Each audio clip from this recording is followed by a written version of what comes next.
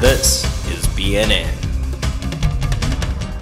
This is Babe News with me, Ruth Marcus. In today's headlines, the DA and ID have officially joined forces, prompting skepticism from the ANC. They now hope to be the biggest opposition party. Lead singer of Just Jinjer, Ard Matthews, is embarrassed after having been arrested on Saturday morning for drunk driving.